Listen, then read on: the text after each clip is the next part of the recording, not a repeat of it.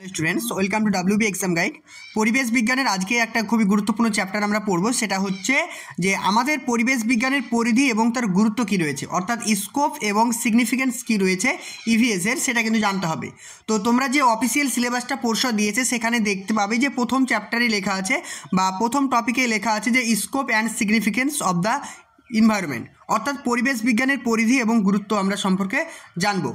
দেখো, প্রত্যেকটা লাইন আমি তোমাদেরকে একবার পড়িয়ে দেবো, তারপরে তোমাদেরকে বুঝিয়ে দেবো যে জায়গাটা বুঝতে অসুবিধা হবে। দেখো, প্রত্যেকটা জায়গায় কি বলছে? যে পরিবেশ শিক্ষার অন্যতম লক্ষ্য হলো দায়িত্বপূর্ণ পদক্ষেপ গ্রহণের উন্নতি সাধন করা এবং পরিবেশকে সংরক্ষণ করা। তাহলে কি বুঝলাম? তাহলে আমরা পরিবেশ কেন শিক্ষা গ্রহণ করব। পরিবেশ শিক্ষা গ্রহণ করার প্রধান কারণ হচ্ছে পরিবেশকে সংরক্ষণ করা। তো দেখতেই পাচ্ছ, বর্তমানে কিন্তু পরিবেশ ধ্বংসের মুখে চলেছে। পরিবেশের যে স্বাভাবিক উপাদানগুলো, সেগুলো ধ্বংস হয়ে যাচ্ছে। কারণ কি? কারণ হচ্ছে মানুষের মধ্যে পরিবেশ সম্পর্কে সচেতনতা নেই। তাই পরিবেশ শিক্ষার প্রধান লক্ষ্য হচ্ছে মানুষের মধ্যে সচেতনতাকে বাড়িয়ে তোলা এবং পরিবেশকে সংরক্ষণ করা। বোঝা গেল? এবং পরিবেশ সম্পর্কে তার কিছু গুরুত্বপূর্ণ পদক্ষেপ গ্রহণ করা। এটা হচ্ছে পরিবেশ শিক্ষার প্রধান লক্ষ্য বা উদ্দেশ্য। নেক্সট দেখো। নেক্সট বলছে, পরিবেশ শিক্ষার অন্যতম লক্ষ্য হলো দায়িত্বপূর্ণ পদক্ষেপ গ্রহণ, উন্নতি সাধন করা এবং পরিবেশকে সংরক্ষণ করা, যেটা এর আগে আমি পড়লাম। সেকেন্ড পয়েন্ট বলছে, স্থানীয় ছোট বা বড় পরিবেশগত সমস্যাগুলি সাধারণ মানুষের সামনে তুলে ধরতে হবে, যাতে তারা প্রত্যেকেই এই নিয়ে ভাবতে পারে। যেমন দেখো আমাদের কিন্তু প্রতিনিয়ত জল দূষণ হচ্ছে, বায়ু দূষণ হচ্ছে, শব্দ দূষণ হচ্ছে। কিন্তু এইগুলোর সম্পর্কে আমাদের গ্রামে বা তোমাদের গ্রামে যে সাধারণ মানুষরা রয়েছে, তারা কিন্তু অবগত নয় যে কেন জল দূষণ হচ্ছে, জল দূষণের ফলে কী কী রোগ হতে পারে, কেউ কিন্তু অতটা জানে না। তো একজন তুমি পরিবেশ বিজ্ঞানের শিক্ষার্থী হয়ে বা পরিবেশ বিজ্ঞানের একজন স্টুডেন্ট হয়ে তুমি কি করবে? ওই পরিবেশ সম্পর্কিত যে কোনো ছোট ছোট বিষয়গুলি, যে কোনো ছোট ছোট সমস্যাগুলি, তুমি তোমার জনসাধারণের সামনে তুলে ধরবে, যাতে প্রত্যেকটি জনসাধারণ সেই বিষয়টা নিয়ে ভাবতে পারে। যখন তারা ভাববে, তখন তারা কি করবে? পরিবেশের ক্ষতি করতে আর চাইবে না। বোঝা গেল? তাহলে কি বলছে? যে আমাদের সমাজের বা আমাদের পরিবেশের যে কোনো ছোট, বড়, যে ধরনেরই সমস্যা থাকুক না কেন, সেগুলো সাধারণ মানুষের সামনে তুলে ধরা। এটাও একটা পরিবেশ শিক্ষার লক্ষ্য। নেক্সট পয়েন্ট বলছে, দেখো। স্থানীয়, জাতীয়, আন্তর্জাতিক পরিবেশ সমস্যার ক্ষেত্রে সবাইকে একই দৃষ্টিভঙ্গিতে এগিয়ে আসতে হবে। যেমন ধরো, আমাদের আমরা বাস করি কোথায়? ভারতবর্ষে। ধরো, বাংলাদেশের কোনো একটা দুর্যোগ হয়েছে। সেখানকার পরিবেশ বিঘ্ন ঘটেছে। সেখানকার পরিবেশটা নষ্ট হয়ে গেছে। তো এখন যদি আমরা ভাবি যে আমরা তো ভারতীয়, আমাদের পরিবেশ ঠিক আছে, বাংলাদেশের পরিবেশ খারাপ হয়েছে, ওরা বুঝে নেই এটা করলে হবে না। কারণ পৃথিবীতে যে জায়গাটাতেই হোক না কেন, পৃথিবীতে যে কোনো জায়গাতেই হোক না কেন যদি কোনো রকম দুর্যোগ হয়, পরিবেশ নষ্ট হয়ে যায়, তাহলে পৃথিবীর যে কোনো প্রান্তের মানুষ একদম এক মনে কিন্তু সেই জায়গাটাতে এগিয়ে যেতে হবে। সেখানকার পরিস্থিতিটাকে আরও বেশি সুন্দর করার জন্য। বোঝা গেল? তাহলে এখানে কি বলছে? যে স্থানীয় হতে পারে। স্থানীয় মানে আমাদের লোকালের হতে পারে বা কোনো দেশের হতে পারে বা আন্তর্জাতিক যদি পরিবেশ সম্পর্কিত কোনো সমস্যা ঘটে, তাহলে অবশ্যই সেগুলোকে আমরা কি করব? সবাই এক মনে গিয়ে এগিয়ে গিয়ে হেল্প করব। সেগুলোকে সংশোধন করা। বোঝা গেল? অর্থাৎ পরিবেশ মানে অবক্ষয়ের পেছনে যে যে কারণগুলো রয়েছে, প্রত্যেকটি কারণকে দূর করার জন্য আমাদেরকে এগিয়ে আসতে হবে। এটা এখানে বলা হয়েছে পরিবেশ শিক্ষার মূল লক্ষ্য বা উদ্দেশ্য। ক্লিয়ার তারপরে দেখো বলছে, বর্তমানে পরিবেশ শিক্ষার তিনটি দিক উল্লেখ আছে। কটি দিক? তিনটি দিক। ভালো করে মাথায় রাখবে। বর্তমানে পরিবেশ শিক্ষার তিনটি দিক উল্লেখ আছে। কি কি দেখো? নাম্বার ওয়ান নাম্বার ওয়ান বলছে পরিবেশ সম্পর্কে শিক্ষা। পরিবেশ সম্পর্কে শিক্ষা মানে পরিবেশকে জানার জন্য শিক্ষা। একটা কি বলছে? পরিবেশ সম্পর্কে শিক্ষা। কি বলছে দেখো? পরিবেশ সম্পর্কে শিক্ষা বলতে বোঝায় পরিবেশ সম্পর্কিত জ্ঞানমূলক, বোধমূলক ধারণা। তাহলে কি বলছে? পরিবেশ সম্পর্কে শিক্ষা বলতে বোঝাচ্ছে পরিবেশ সম্পর্কে জ্ঞানমূলক এবং বোধমূলক ধারণা। পরিবেশ ও পরিবেশ সম্পর্কিত বিভিন্ন ঘটনা জানতে হবে। আমাদের যে ইনভায়রনমেন্ট রয়েছে বা ইনভায়রনমেন্ট রিলেটেড যে বিভিন্ন ঘটনা রয়েছে, সেগুলোকে জানতে হবে। মানুষ এবং পরিবেশের মধ্যে কী সম্পর্ক রয়েছে সেটা জানতে হবে। তাহলে কি বললাম? যে পরিবেশ সম্পর্কে শিক্ষা বলতে কি বোঝায়? একটা পরিবেশের সঙ্গে মানুষের কি সম্পর্ক রয়েছে সেটাকে জানতে হবে। পরিবেশ সম্পর্কিত বিভিন্ন ঘটনাগুলিকে জানতে হবে। আর কি বলছে? পরিবেশ সম্পর্কিত বিভিন্ন জ্ঞানমূলক এবং বোধমূলক ধারণা অর্জন করতে হবে। এই পয়েন্টগুলো ভেরি ভেরি ইম্পর্টেন্ট মনে রাখতে হবে। ক্লিয়ার তাহলে আমরা দেখলাম যে পরিবেশ সম্পর্কে শিক্ষা মানে কি? পরিবেশকে জানার জন্য শিক্ষা। অর্থাৎ পরিবেশ রিলেটেড আমাদেরকে জ্ঞান অর্জন করতে হবে। তাহলে কি কি পয়েন্ট এখান থেকে মাথায় রাখব? যে পরিবেশের সঙ্গে আমাদের মানুষের কি সম্পর্ক রয়েছে সেটাকে জানতে হবে। দ্বিতীয়ত জানতে হবে পরিবেশ এবং পরিবেশ সম্পর্কিত বিভিন্ন ঘটনা। তাহলে পরিবেশ এবং পরিবেশ সম্পর্কিত বিভিন্ন ঘটনা কোনগুলো? যেগুলো ভূমিকম্প হচ্ছে, বিভিন্ন সুনামি হচ্ছে, বিভিন্ন খরা হচ্ছে, এইগুলো। এগুলোকে জানতে হবে। তৃতীয়ত যেটা জানতে হবে যে পরিবেশ সম্পর্কে আমাদেরকে জ্ঞানমূলক এবং বোধমূলক ধারণা অর্জন করতে হবে। পরবর্তী টাইমে তোমাদেরকে জ্ঞানমূলক এবং বোধমূলক সম্পর্কে ডিটেলসে আরও বলব। দেখো নেক্সট পয়েন্ট হচ্ছে পরিবেশের মাধ্যমে শিক্ষা। প্রথমে জানলাম পরিবেশ সম্পর্কে শিক্ষা, এবার জানব পরিবেশ মাধ্যমে শিক্ষা। অর্থাৎ পরিবেশকে মাধ্যম করে যেটা আমরা জ্ঞান অর্জন করব। কি বলছে দেখো? এখানে বলছে যখন শ্রেণীকক্ষের বাইরে, যখন শ্রেণীকক্ষের বাইরে পরিবেশের মাধ্যমে শিক্ষার্থীদের শিক্ষা দেওয়া হয়, যেমন বিদ্যালয়ের চারপাশে গাছপালার নাম তারপর দেখো বিদ্যালয়ের চারপাশে গাছপালার নাম জানানো জীব ও জড়বস্তুর তালিকা তৈরি করা এইগুলো। তাহলে এখানে জিনিসটা বোঝার চেষ্টা করো, তাহলে একদম ক্লিয়ার হয়ে যাবে।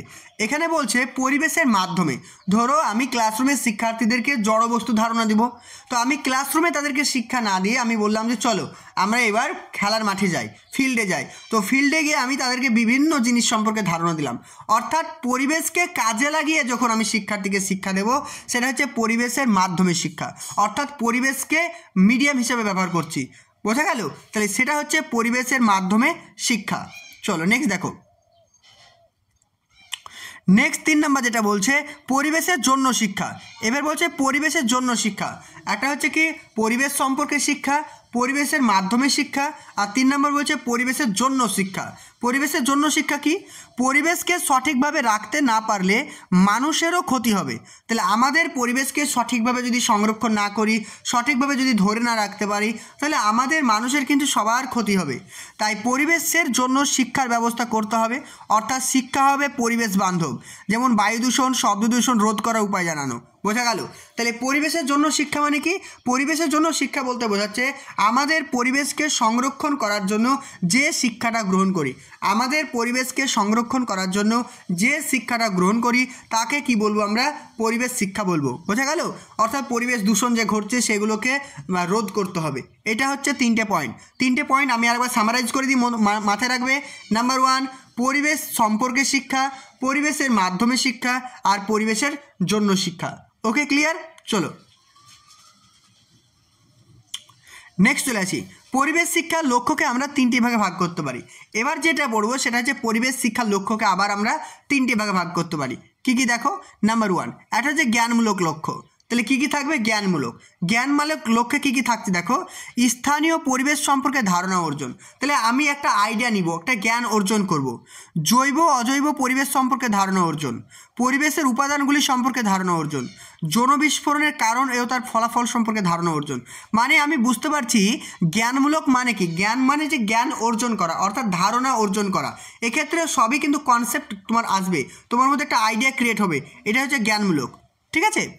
দেখো আরও কি বলছে? বলছে ঘর, বাড়ি এবং আশ্রয়স্থল সম্পর্কে জ্ঞান লাভ করা বা ধারণা অর্জন করা। খাদ্য ও জলের উৎস বিভিন্ন রোগের নাম জানতে পারা। অর্থাৎ কোনো একটা নতুন ইনফরমেশনকে জানা। যে কোনো ইনফরমেশনকে জানা হচ্ছে কি? ইনফরমেশন জানাটা ইনফরমেশন জানার প্রাথমিক ধাপ হচ্ছে জ্ঞানমূলক। বোঝা গেল? এবার চলে আসি আমরা কি বোধমূলক। বোধমূলকের ক্ষেত্রে কী কী মনে রাখব? পরিবেশ বিজ্ঞান শিক্ষার বোধমূলক লক্ষ্য কী কী? পরিবেশ বিজ্ঞান শিক্ষার বোধমূলক লক্ষ্য হচ্ছে পরিবেশ দূষণের কারণ জেনে তা দূর করার চেষ্টা করা। দেখো, প্রথমে জ্ঞানমূলকে কী জানলাম? জ্ঞানমূলকে জানলাম পরিবেশ কীভাবে দূষণ হচ্ছে সেটা জানা। দ্বিতীয়ত কি জানলাম? যে বোধমূলকে কি? যে পরিবেশ দূষণ ঘটছে, সেই কারণগুলো জেনে সেগুলোকে দূর করার চেষ্টা করা। এটা হচ্ছে বোধমূলক, ওকে? তারপরে পয়েন্ট বলছে, পরিবেশের উপাদানগুলি চিহ্নিত করে সেগুলোকে রক্ষা করা। আমরা প্রথমে জানলাম পরিবেশের উপাদানগুলি সম্পর্কে ধারণা অর্জন করব। আর দ্বিতীয় ক্ষেত্রে আমরা জানছি, পরিবেশের উপাদানগুলো চিহ্নিত করতে হবে এবং সেগুলোকে রক্ষা করতে হবে। তারপর তিন নাম্বার, পরিবেশের পার্থক্য করতে পারা, অর্থাৎ পরিবেশে যে সমস্ত উপাদানগুলো রয়েছে, জড়বস্তু, সজীব বস্তু, এগুলোর পার্থক্য করতে পারবে। কোথায়? এই বোধমূলকে।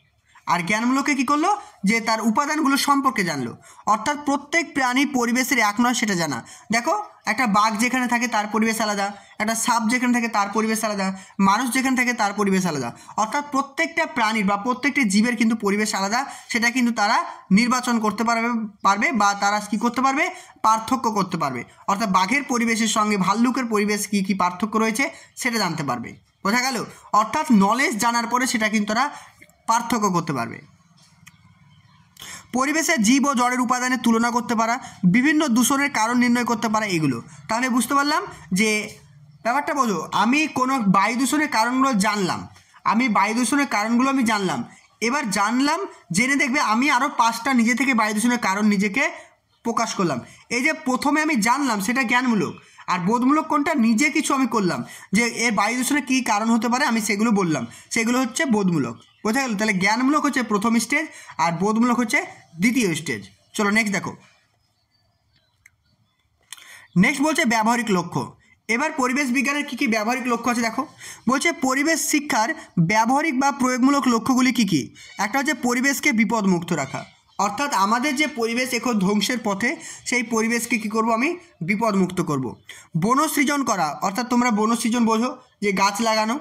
বনসৃজন করা মাটি মাটি, বায়ু, জল শব্দ দূষণের কারণ নির্ণয় করে সেগুলিকে দূর করা। তাহলে বুঝতে পারছি যে আমাদের পরিবেশে যে সমস্ত দূষণ ঘটাচ্ছে তার কারণগুলো জানা এবং জানার পরে সেগুলোকে দূষণ মুক্ত করা। এগুলো সবই কিন্তু ব্যবহারিক। মানে ব্যবহার মানে কি? প্র্যাকটিক্যাল যেটা বাস্তবে প্রয়োগ করব। বোঝা গেল? নেক্সট দেখো। নেক্সট বলছে, নিজের পরিবেশ ও আশেপাশের পরিবেশকে পরিচ্ছন্ন রাখার কৌশল প্রয়োগ করতে পারবে। অর্থাৎ আমার বাড়ির পাশে যে পরিবেশটা রয়েছে, সেটাকে আমি পরিষ্কার রাখব। আর এছাড়াও কি আশেপাশে যে সমস্ত পরিবেশ রয়েছে, সেটাকেও পরিবেশটাকে আমি পরিষ্কার পরিচ্ছন্ন রাখব। অর্থাৎ নিজের পরিবেশ এবং আশেপাশের পরিবেশকে পরিষ্কার পরিচ্ছন্ন রাখা। এগুলো সবই কিন্তু প্র্যাকটিক্যাল নলেজের মধ্যে পড়ছে বা ব্যবহারিক লক্ষ্যের মধ্যে পড়ছে। এই পয়েন্টগুলো মাথায় রাখো। নেক্সট হলো নেক্সট এবার পড়ব সেটা হচ্ছে কি মাল্টি ডিসিপ্লিনারি এমস যেটাকে বলছে বহু বিষয় কেন্দ্রিক লক্ষ্য। তাহলে বহু বিষয় কেন্দ্রিক লক্ষ্য বলতে কি বোঝায়? দেখো, শিক্ষার্থী যখন একটি বিষয় শিখতে গিয়ে বিষয় সম্পর্কিত অন্যান্য বিষয়গুলি সম্পর্কে ধারণা লাভ করে, তাকে বলছে বহু বিষয়। অর্থাৎ কোনো একটা নির্দিষ্ট টপিক পড়তে গিয়ে সেই টপিক রিলেটেড বিভিন্ন বিষয় সে জেনে নিয়েছে। এই যে বিভিন্ন বিষয় জানছে, সেটাকে বলছে মাল্টি ডিসিপ্লিনারি অর্থাৎ কি বহু হচ্ছে কি বিষয় কেন্দ্রিক। বোঝা গেল?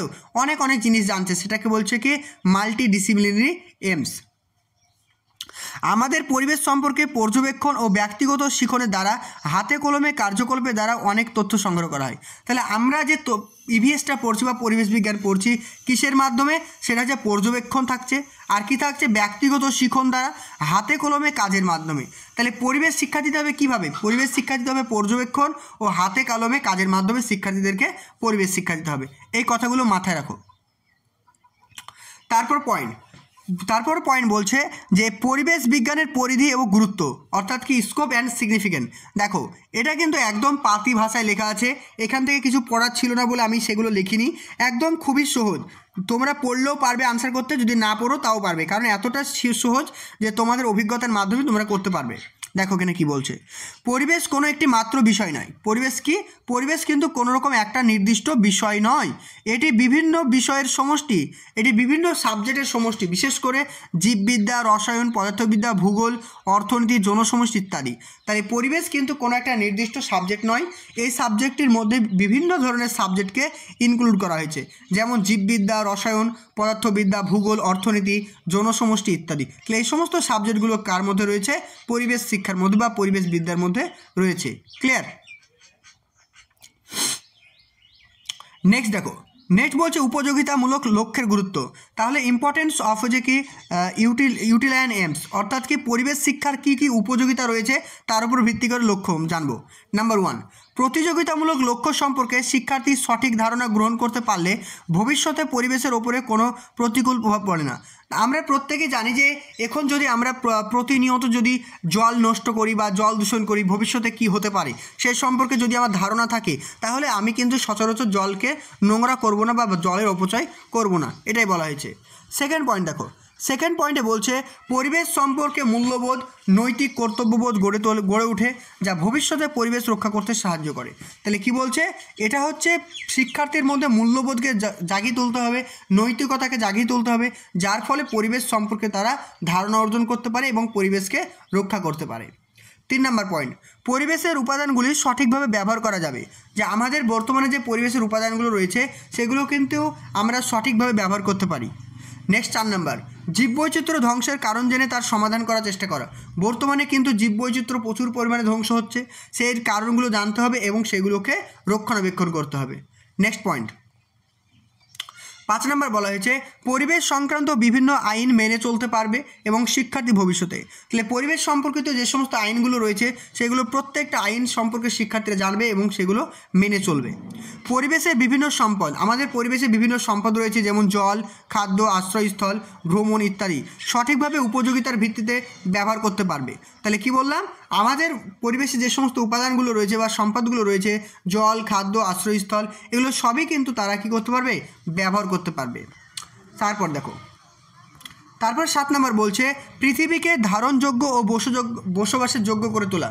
তাহলে পরিবেশ যখন সংরক্ষণ করা হবে, পরিবেশ যখন মেনটেন করা হবে, তখন আমাদের এই পৃথিবী কিন্তু বসবাসের যোগ্য হয়ে উঠবে। তাই বলা হয়েছে, পৃথিবীকে ধারণযোগ্য ও বাসযোগ্য করে তুলতে পারবে। ওকে নেক্সট কোশ্চেন দেখো next point very very important পয়েন্টটা খুবই পরীক্ষা আসে সিটেটে অনেকবার এসেছিল এই প্রশ্নটা।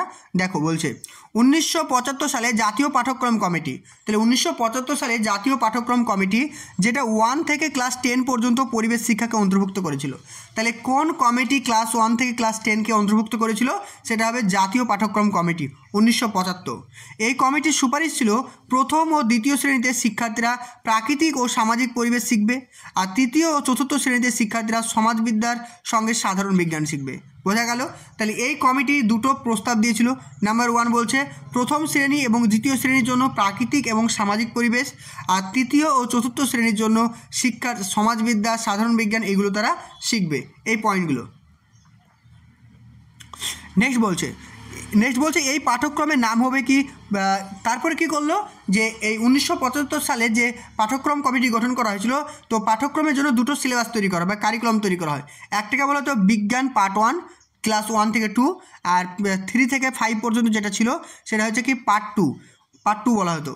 জাতীয় পাঠ্যক্রম দু হাজারে বলা হয়েছে, প্রাথমিক স্তরে সমন্বিত শিক্ষণ হিসাবে পরিবেশ বিজ্ঞান বিষয় পাঠ করানো হবে। তাহলে সমন্বিত শিক্ষার কথা কে বলেছেন? পরিবেশ বিজ্ঞানের ক্ষেত্রে সমন্বিত শিক্ষার কথা কে বলেছেন? সেটা তোমরা আনসার করবে কি? দু হাজার সালে জাতীয় পাঠ্যক্রম, অর্থাৎ কি দু হাজার এন এস কি এনসিএফ, অর্থাৎ ন্যাশনাল কারিকুলাম ফ্রেমওয়ার্ক দু হাজার এটি প্রথম বলেছে ইন্টিগ্রেটেড ম্যানারে পরিবেশকে শিক্ষা দিতে হবে। ওকে চলো নেক্সট দেখো। নেক্সট পয়েন্ট বলছে এনসিএফ দু অনুযায়ী পরিবেশ বিজ্ঞান পাঠদানের উদ্দেশ্য। তাহলে পরিবেশ আমরা কেন পড়ব বা পরিবেশ শেখার কী কী উদ্দেশ্য রয়েছে জানতে হবে। দেখো এখানে কি বলা হয়েছে। বলছে, বর্তমানে প্রাথমিক স্তরে পরিবেশ বিজ্ঞানের যে পাঠ্যসূচি আছে তা বিজ্ঞান বিজ্ঞান। বলছে, বর্তমানে প্রাথমিক স্তরে, বর্তমানে প্রাথমিক, ভালো করে বোঝো।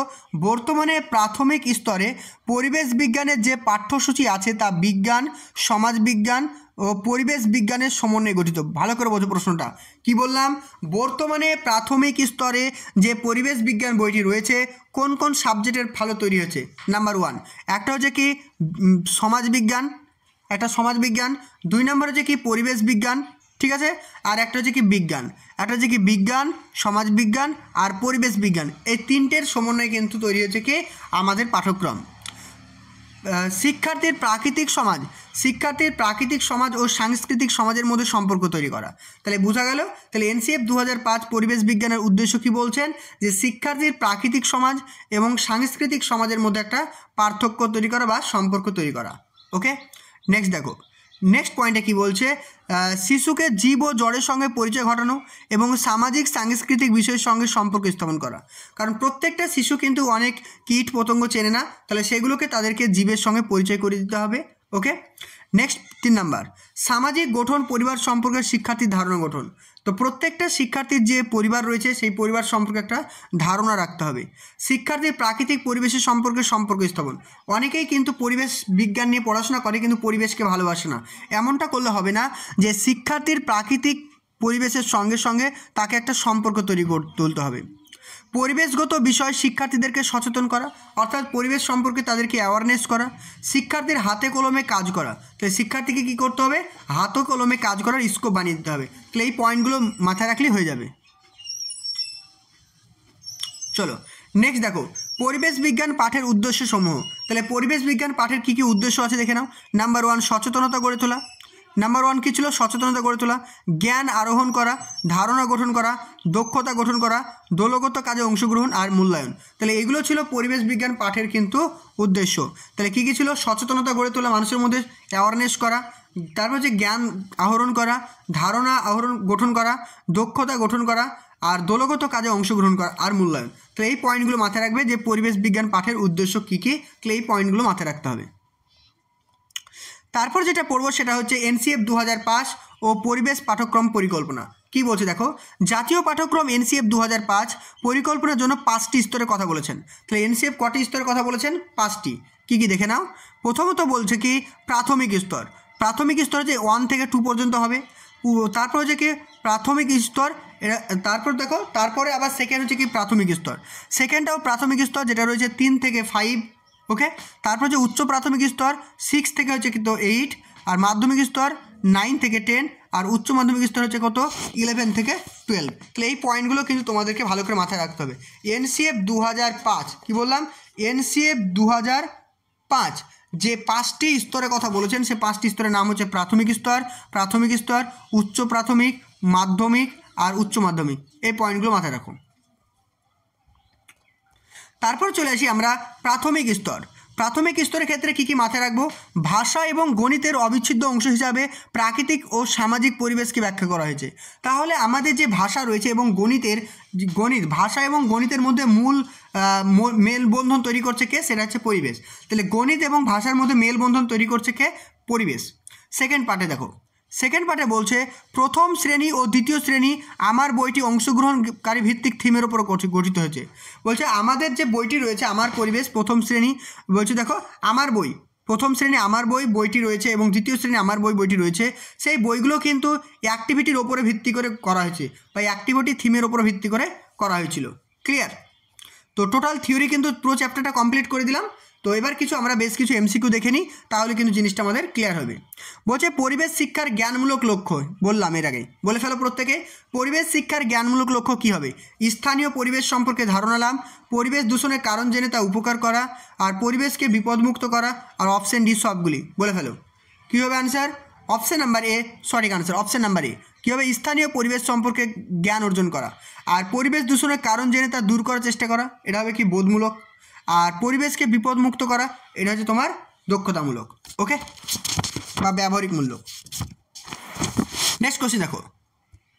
নেক্সট কোশ্চেন বলছে, পরিবেশ শিক্ষার বহু বিষয় কেন্দ্রিক যেটা মাল্টি ডিসিপ্লিনারি বলেছিলাম, তাহলে সেটা লক্ষ্য কী আছে? শিক্ষার্থীর একটি বিষয় শিখতে গিয়ে অন্য বিষয় সম্পর্কে ধারণা লাভ করে, একসঙ্গে সব বিষয় শেখে, একের অধিক বিষয় শেখে, আর সবগুলি। কীভাবে আনসার বলো? দুই নাম্বারটা, দুইয়েরটা আনসার কী হবে প্রত্যেকে জানাও?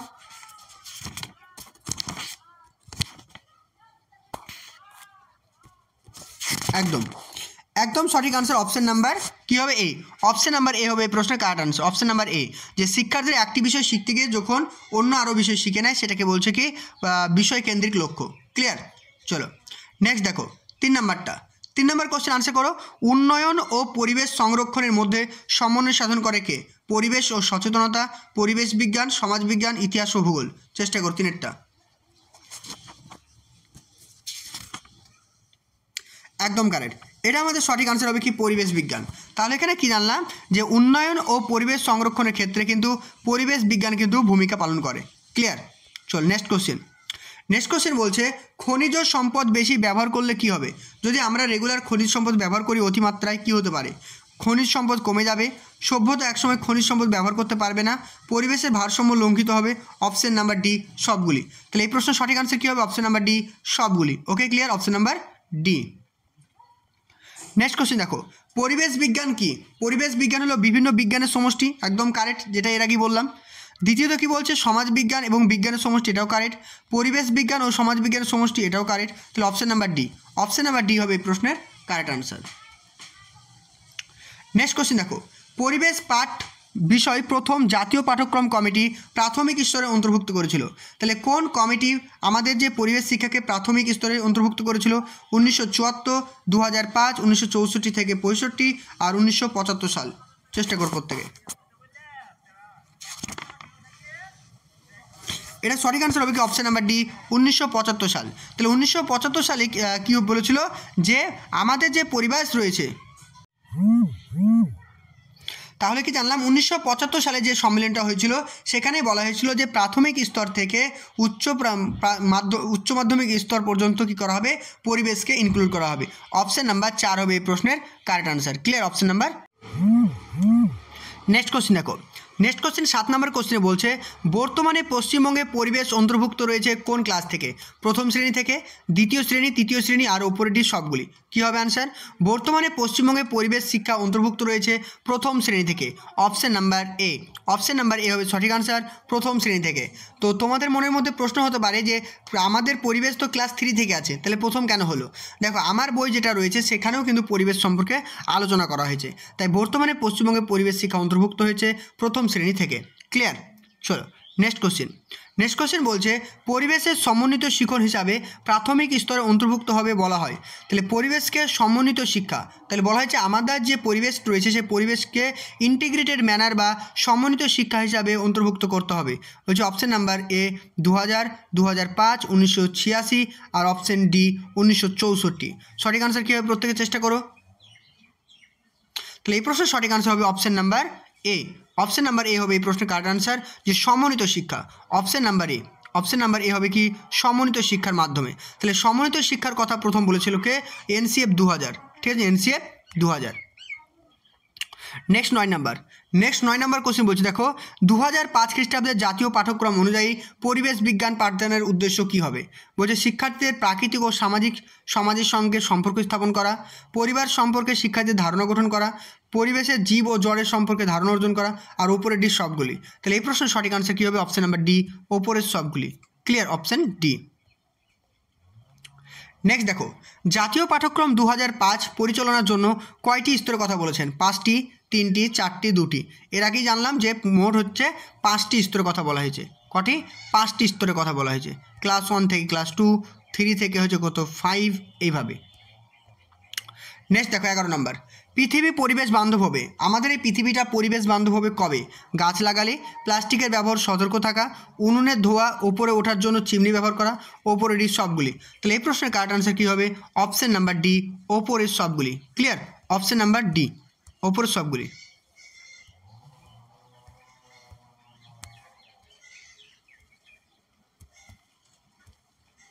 অপশান নাম্বার ডি চলো নেক্সট কোশ্চেন দেখো। আমাদের রাজ্যে পরিবেশ বিজ্ঞান প্রাথমিক স্তরে আলাদা বিষয় হিসেবে পড়ানো হয় কোন ক্লাস থেকে? আমাদের প্রাথমিক বিদ্যালয়ে কোন ক্লাস থেকে পরিবেশ বিজ্ঞানটাকে আলাদাভাবে পড়ানো হয়? প্রথম, তৃতীয়, কোনোটাই নয়, আর চতুর্থ। তাহলে সঠিক আনসার কী হবে? Option number option number B অর্থাৎ তৃতীয় শ্রেণি থেকে। তৃতীয় শ্রেণি থেকে কিন্তু পড়ানো হয় কি? পরিবেশ বিজ্ঞান বই, আলাদা হিসাবে। ওকে, এই টপিক রিলেটেড এই কোলা প্রশ্ন ছিল। নেক্সট ক্লাসে তোমাদেরকে সিটের দু হাজার আঠেরো সালে যে পরিবেশ বিজ্ঞান থেকে কোশ্চেনগুলো এসছে, সেগুলো কিন্তু ডিটেলসে আলোচনা করে দেবো। আজকে এই পর্যন্ত নেক্সট ক্লাসে আবার দেখা হবে। ভালো থেকে, সুস্থ থাকো। থ্যাংক ইউ তোমাদের জন্য একটা খুবই খুশির খবর যে মাত্র টোয়েন্টি ফাইভ মাত্র পঁচিশ টাকা দিয়ে এনরোলমেন্ট করলে এক্সাম পর্যন্ত তোমরা কিন্তু ডেলি পাঁচটা করে মক টেস্ট দিতে পারবে। এখানে মক টেস্টের টাইম দেখতে পাচ্ছ সকাল, দুপুর দুপুর, বিকেল, রাত্রি, রবিবার। রবিবারে ফুল মক টেস্ট আজকে ফুল মক টেস্ট দেওয়া হয়েছে। তো এই ছিল ছোট্ট একটা আপডেট তোমরা যারা মক টেস্ট অ্যাড করতে চাও তাহলে এই নাম্বারটা nine six four seven three double zero two one seven এই নাম্বারে কন্ট্যাক্ট করে আমাকে জানাও। তাহলে তোমরা কিন্তু মাত্র পঁচিশ টাকার বিনিময়ে এনরোলমেন্ট করলে তোমরা এক্সাম পর্যন্ত কিন্তু মক টেস্ট দিতে পারবে। Okay thank you